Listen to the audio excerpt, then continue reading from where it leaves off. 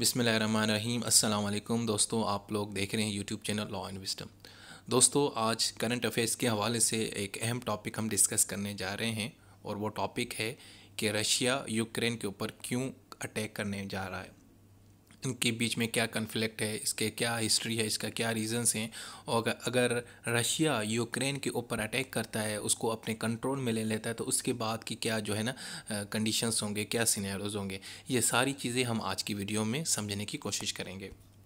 अच्छा सबसे पहले तो इंट्रोडक्शन जी इंट्रोडक्शन में देखेंगे इस वक्त चल क्या रहा है। इस वक्त चल ये रहा है कि रशिया ने तकरीबन एक लाख के लगभग जो ट्रूप्स हैं, जो फौजी हैं, जो जवान हैं, वो यूक्रेन के बॉर्डर के ऊपर जनाब कलेक्ट यानी कि उनको वहाँ पे पहुँचा दिया है और कहा कि जी आप यहाँ पे यानी कि अलर्ट हो जाएँ। और इवन के इसके साथ साथ उसने जो है ना जो अपना डिफेंस सिस्टम है जो एस फोर हंड्रेड जिसको बोलते हैं surface to air missile system उसको जो बेलारोस है, एक कंट्री है यूक्रेन के साथ, वहाँ पर उसको, वहाँ पर जो है ना इम्प्लीमेंट कर दिया है।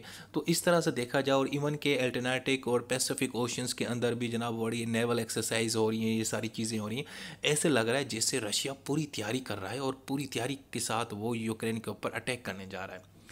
इस चीज़ों के बाद क्या हुआ है कि बहुत सारे ममालिक्स ने अपनी जो सिटीजन्स हैं, जो यूक्रेन के अंदर बैठे हैं, उनको कहा कि आप यहाँ से निकल जाएँ क्योंकि रशिया अटैक करने वाला है। उसमें यूएसए ने जर्मनी फ्रांस यूके इन सारी कंट्रीज़ ने वार्निंग दे दिया है कि भाई जो जो लोग आप यूक्रेन में मौजूद हैं, यहाँ से निकल जाओ, भाग जाओ, क्योंकि भाई वार होने वाली है।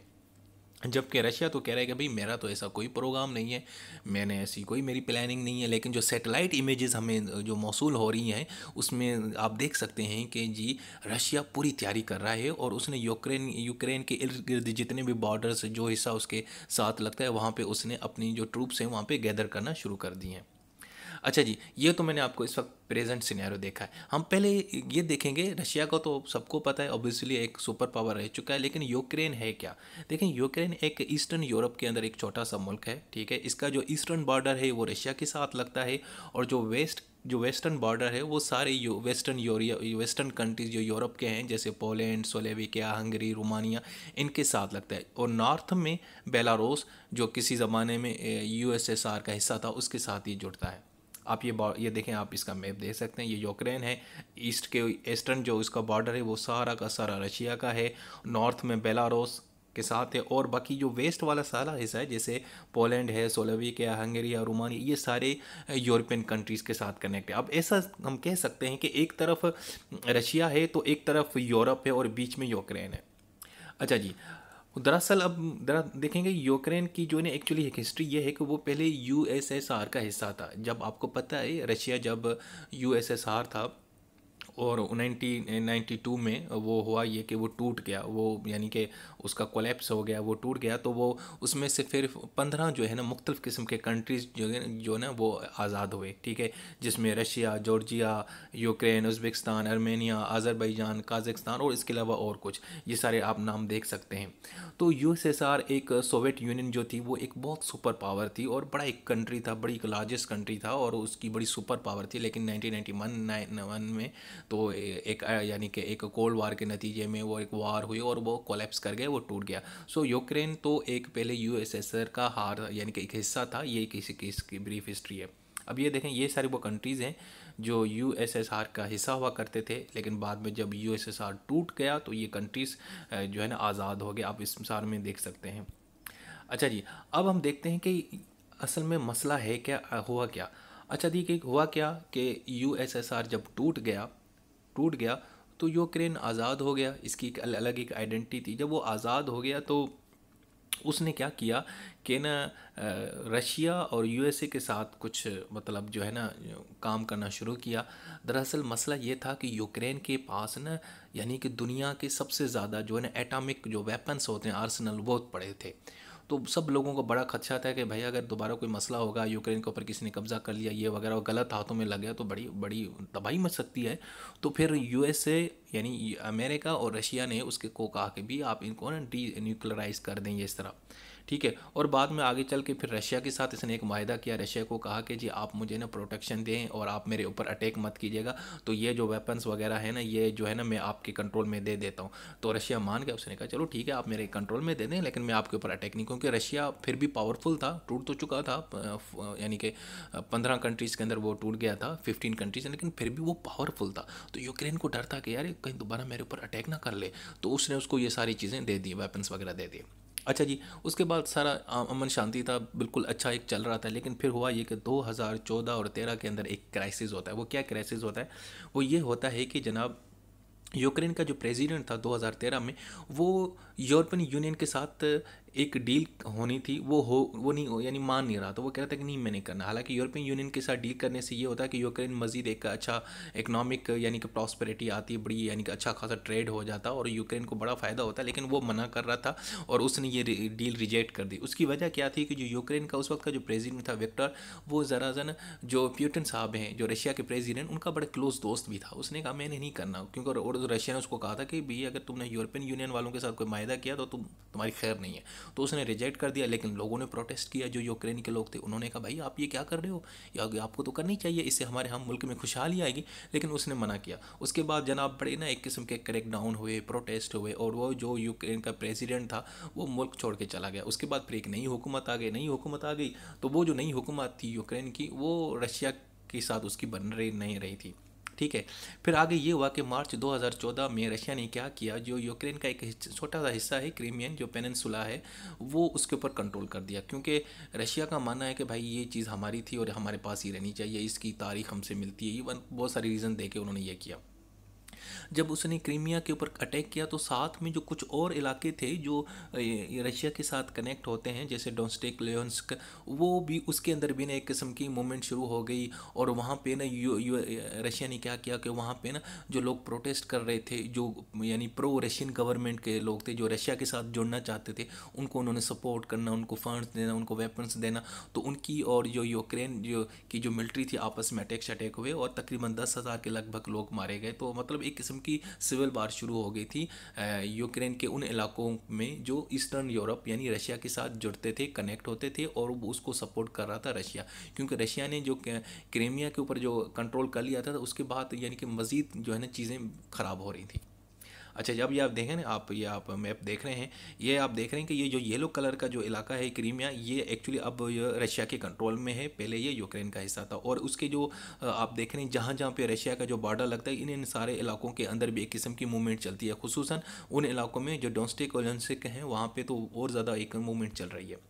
अच्छा जी, अब कहा जाता है कि इन इलाकों में तो रशिया ने सपोर्ट किया, लेकिन रशिया कहता था नहीं, मेरा तो कोई इसके अंदर अमल दखल नहीं है भाई, वो लोग आपस में इनका आपस का मामला मेरा कोई हिस्सा नहीं है।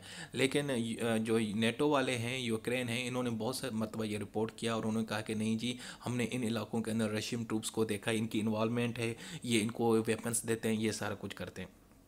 अच्छा जी, इवन के 2014 में मज़ीद टेंशन्स बढ़ गई। जब एक मलेशियन एयर फ़्लाइट थी ना, वो जब यूक्रेन से गुजर रही थी तो उसको किसी ने मार गिराया और उसमें तकरीबन 298 लोग थे बेचारे, वो मारे गए। ठीक है, बाद में फिर अक्टूबर 2015 में एक इन्वेस्टिगेशन होती है, उसमें पता चलता है कि जी, जनाब, इसको जिस सिस्टम के ज़रिए गिराया गया था, वो तो रशियन सिस्टम था सरफेस टू एयर मिज़ाइल जो था सारा कुछ। तो मतलब रशिया के ऊपर और मज़ीद तनकीद होने लगी, यूरोप भी तनकीद कर रहा था, यूरोपियन यूनियन भी तनकीद कर रहा था, यूक्रेन और इवन के अमेरिका ने भी, अमेरिका के तो वैसे इनके साथ जंग लगती है, बनती नहीं है तो उसने भी बड़ी तनकीद की। तो एक बड़ा प्रेशर पड़ रहा था रशिया के ऊपर और उसके वो बड़े, उसके ऊपर एक, यानी कि बड़ी अच्छी खासी सेंक्शंस भी लगी। अच्छा जी, अब ये तो मैंने आपको ज़रा हिस्ट्री बता दी, लेकिन अब क्या मामला चल रहा है? अब इस वक्त 2022 में, जनवरी फेब यानी फेब में, फरवरी चल रहा है तो इसमें आखिर पुटिन साहब को क्या सोचा है कि मैं, यानी कि, यूक्रेन के ऊपर अटैक करूँ? भाई, पहली बात ये है कि यूक्रेन जो है ना, वो इस वक्त यूरोपियन यूनियन के साथ बड़ा कनेक्ट में है, अमेरिका के बड़े क्लोज है, वो एक्चुअली चाहता है कि मैं नेटो का मेंबर बन जाऊँ। आपको पता है ना नेटो का नॉर्थ अटलांटिक ट्रीटी ऑर्गेनाइजेशन ये वो ऑर्गेनाइजेशन है आर्मी की, इसमें सारी सारी तीस के लगभग जो है ना कंट्रीज़ की जो फौज है, इनका ये ग्रुप है, एक अलायंस है, ठीक है? तो यूक्रेन एक्चुअली उसका हिस्सा बनना चाहता है। अच्छा इसमें जो तीस कंट्रीज़ हैं, उसमें से सत्ताईस तो यूरोप के कंट्रीज़ हैं, लेकिन तीन जो कंट्रीज़ थे, वो ऑलरेडी यूएसएसआर के पुराने मेंबर थे। यानी कि इस्टोनिया लेतेविया लिथोनिया ये भी रशिया के बिल्कुल क्लोज हैं। तो ये तो ऑलरेडी बन चुके हैं। तो अस, इस वक्त जो है ना, रशिया को डर है कि भाई अगर यूक्रेन भी नेटो का मेंबर बन गया तो इसका मतलब मैं तो मतलब दुश्मनों में गिर जाऊँगा। मेरे सारे जो पड़ोसी हैं, वो तो दुश्मन मुल्क के, यानी कि हिस्सेदार होंगे। और अगर मैं किसी के ऊपर अटैक करूँगा तो वो नेटो का एक रूल बना हुआ है कि भाईजान, अगर आपने किसी भी एक नेटो मेंबर के ऊपर अटैक किया तो वो तीस के तीस कंट्रीज़ आपके ऊपर अटैक करेंगे। तो रशिया भाई इस चीज़ से बड़ा डर लगता है। तो वो कहता है कि इससे पहले कि भाई वो नेटो का मेंबर बन जाए, मैं क्यों ना इसके ऊपर अटैक कर लूँ? तो पहली तो एक वजह ये है। दूसरी वजह आप ज़रा मैप देखें। ये देख रहे हैं ये जो ब्लू कलर के अंदर हैं, ये तो 1997 से पहले के नेटो के मेंबर हैं, लेकिन 1997 के बाद ये सारी जो कंट्रीज़ हैं जो यूक्रेन के इर्द गिर्द हैं, ये सारे भी मेंबर्स बैंक सवाए बेलारोस के, बाकी सारे आप ये देख रहे हैं ऑरेंज कलर के अंदर जो हैं, ये भाई सारे के सारे मेंबर्स हैं नेटो के। तो रशिया आप देख रहे रशिया के साथ जितने भी कंट्रीज़ हैं, वो सारे के नेटो के मेंबर्स हैं। तो रशिया को तो बड़ा डर होगा, रशिया कहेगा, भाई, ये तो सारे मैं दुश्मनों में घिर जाऊँगा। अब यूक्रेन एक बहुत बड़ा मुल्क है पावरफुल कंट्री भी है, इतना मतलब गया गुजरा भी नहीं है अच्छा खासा कंट्री है। तो अगर ये भी नेटो का मेंबर बन गया तो फिर तो भाई रशिया की तो पावर ख़त्म हो जाएगी इस इलाके में और रशिया तो बिल्कुल अपनी पावर यानी कि वो मिट जाएगा। ठीक है, एक तो ये वजह, दूसरी वजह ये है कि भाईजान, यूक्रेन एक बड़ा ज़बरदस्त एग्रीकल्चर पावर हाउस है। इसको ब्रेड बास्केट ऑफ़ यूरोप भी कहते हैं। इसकी जो सॉयल है, वो बड़ी फर्टिलाइज है। यहाँ पे दुनिया की हर किस्म की जो है ना, आपन जो एग्रीकल्चर है, आपकी कोई भी जो वेजिटेबल्स है फ्रूट्स हैं, ये करते हैं। मतलब एक पावरफुल है और अच्छी खासी है और ये सनफ्लावर ऑयल सोयाबीन्स बड़ी दुनिया को एक्सपोर्ट करता है। इसमें ग्रोब लीडर है, यानी इतनी फर्टाइल इतना जरखेज़, इतना प्यारा और खूबसूरत मुल्क है, जहाँ पर एग्रीकल्चर बड़ी ज़बरदस्त है और बड़ी तरक्की है।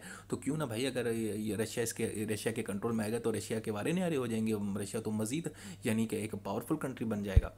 ठीक है? तो ये तो दो वजूहत मैंने आपको बता दी कि एक तो वो नेटो में डर है उसको कि शामिल ना हो जाए, दूसरा कि ये फर्टाइल है, क्योंकि ये बड़ा पावरफुल है, एग्रीकल्चर इसका बहुत अच्छा है, क्यों ना मैं इसके ऊपर कंट्रोल करूँ। अच्छा जी, अब होगा क्या? अब ये होगा कि अगर तीन पॉसिबिलिटीज़ हैं, तीन काम हो सकते हैं। पहला काम तो ये हो सकता है कि भाई रशिया जो है ना, उसके ऊपर यूक्रेन के ऊपर कंट्रोल कर ले। और रशिया समझता है कि भाई मैंने पहले भी 2014 में इसका एक हिस्सा कंट्रोल में कर लिया था।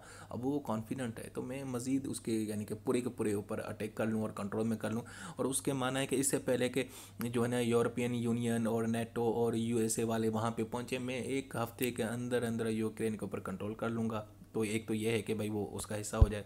दूसरा हिस्सा ये है कि भाई अगर उसके ऊपर अटैक करता है तो रशिया के लिए भी बड़ी प्रॉब्लम होगी, क्योंकि रशिया, आपको पता है ना, जर्मनी, हंगरी और यूरोपियन कंट्रीज़ को गैस सप्लाई भी करता है तो वो गैस सप्लाई ख़त्म होकर टूट जाएगी, उसके अंदर मसला आ जाएगा तो इकनॉमिक कॉन्सिशन हो सकते हैं, ठीक है? और जितने भी यूरोपियन कंट्रीज़ हैं या अमेरिकन हैं, जिन्होंने इंटरेस्ट जिन्होंने इन्वेस्ट किया हुआ है, जिनके पैसे पड़े हुए हैं रशियन बैंक्स में, वो सारा निकाल देंगे तो रशिया के लिए बड़े इकनॉमिक क्राइसिस होंगे, और उसके पास पाबंदियाँ भी लग सकती हैं सेंक्शंस भी लग सकती हैं तो भाई रशिया तो खुद भी बड़ा ना एक किस्म का कमज़ोर कंट्री बन जाएगा। तो एक ये भी सिचुएशन है तो भाई इसको तो सोचना पड़ेगा।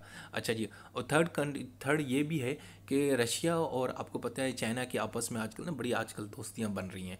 तो हो सकता है कि रशिया और चाइना मिल के अगर कोई इस तरह का कोई कानून आता है यूनाइटेड नेशन सिक्योरिटी काउंसिल में तो ये दोनों के पास वीटो पावर है तो वो उस रेजोल्यूशन को, उस कानून को जो, यानी कि रशिया के ऊपर पाबंदी लगाने वाला हो या जो रशिया को मना करे कि आपने यूक्रेन के ऊपर अटैक नहीं करना तो वो उसको वीटो भी कर सकते हैं, उसको ख़त्म भी कर सकते हैं। सो ये भी सिचुएशन है। लेकिन ज़्यादातर सिचुएशन ये है कि अगर इन तीनों सिचुएशन में देखा जाए तो ओवरऑल एक ये होगा कि एक बड़ी ना एक कन्फ्लिक्ट होगा और बड़ा नुकसान होगा सब कंट्रीज़ का।